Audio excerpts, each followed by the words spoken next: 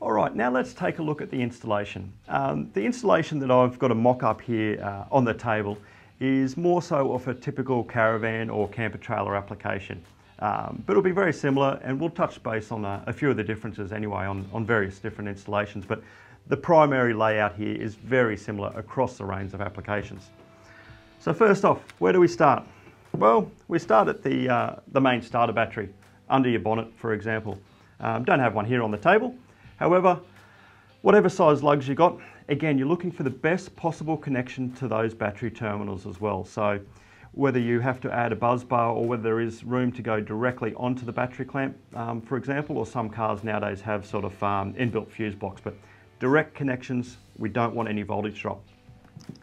Then what do we go through next? So on the DC to DC 40 plus, the 12 volt unit we'll talk about here, we have a 70 amp fuse. Now this can be either a 70 amp fuse or a circuit breaker. Um, one of the products that we sell and recommend quite often um, is the 70 amp MIDI fuse here. Now this can be replaced with a circuit breaker. However, the one to avoid is auto reset breakers. Um, we have many different issues and we see many different service vehicles coming in and uh, we've had issues with the DC to DC not performing or just dropping out completely and quite often it is put down to the auto reset breakers. Um, they derate when they're in an under bonnet application there as well. They trip out and they reset so you may not actually be aware that they've tripped out uh, until you get to the campsite and wonder why your battery is not charged. So a good quality circuit breaker um, or MIDI fuse here as well. So from the MIDI fuse here, we then run through the cabling throughout the vehicle. Um, and as I said, in this particular application, we're talking about a, uh, a tow setup here, so a caravan or a um, camper trailer, for example. So we've gone to an Anderson plug here. Uh, again, recommend using good quality, genuine Anderson plug um, terminals here, all based on avoiding voltage drop. Now, we'll talk about voltage drop again a little bit later on, but let's keep to the basics. So we're now inside the caravan.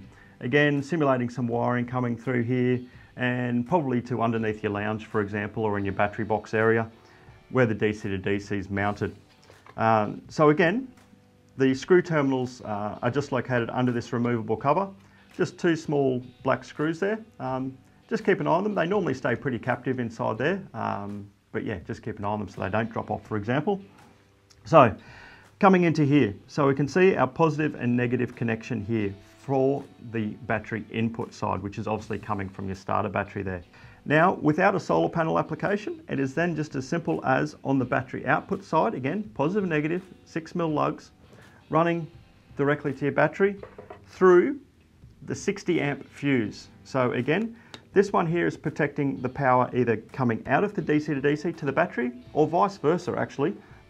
Because you've got power here, if you get a short circuit through this particular cable here, running through your van, for example. We also want circuit protection that shuts the battery off as well. So 60 amp, again, good quality fuse, whether it be a MIDI fuse like this one here in a Bussmann holder or in a Blue Sea safety hub you'll see on a lot of applications as well, or actually a circuit breaker. Again, no auto reset circuit breakers though.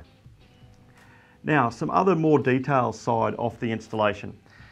Let's touch base on cable sizing first. Now I can't cover all the different applications in this video. However, as a guide, we recommend 16mm cable smallest. 16mm cable, which is also around 6 B&S. 6 B&S is normally around about 13mm. Um, so 6 B&S or 16mm squared cable. Again, in the manual, there's plenty of information there about how long your cable run is compared to what your um, cable diameter should be. So as a guide, 16 mil or 6 B&S is the smallest that we recommend.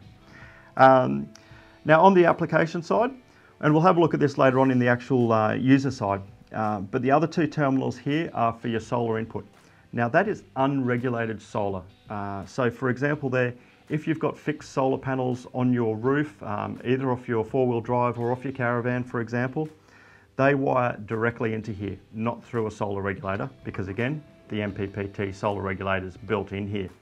If you do buy any other brands or some of our other folding solar panel kits as well that come with a regulator, just remove those, bypass them and directly into here.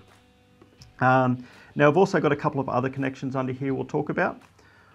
The remote port there, At the moment, that's not used. However, we do have a remote coming uh, in the near future. So that will allow that if these are installed under your lounge in a hard to access place, for example, um, or maybe in the canopy and you do want to keep an eye off it uh, inside your cab of your four wheel drive, we do have a uh, display coming for that in the very near future. The next one here, temperature sensor port. So as I mentioned, the temperature sensor comes with the DC to DC. Uh, simple as plugging that one into here and this one here is to go onto the negative terminal there as well. So on the negative connections, or positive connections as well, we always recommend doing it in a Christmas tree effect. Um, that is the largest load or the largest cable size normally at the bottom and then stack it up to the smallest cable size, the smallest ring terminal, the smallest load on the top. Um, so again, because this isn't actually passing any current through it, it is just a temperature sensor located into here, it can be located on the top. So, temperature sensor is only required for lead acid batteries or AGM batteries. Um, it is not required for your lithium batteries. So that's why you'll see most of the um, pre-made kits that uh, Enerdrive do, or even a lot of the caravan manufacturers, won't actually fit this on a lithium system. Now, another one that our tech guys always get the query of, why uh, is it that I'm not seeing the charge going into my battery um, from my ePro Plus or it can be any other battery monitor and all that. So just an example here, um, I've got one of our ePro Plus shunts. Very clearly it's labelled up the top here, battery and then also system. Now it's key that the output off your DC to DC actually goes to the system side, not directly to the battery. There should only be one cable coming from the battery to the battery terminal of the ePro Plus shunt or any other shunt, for example.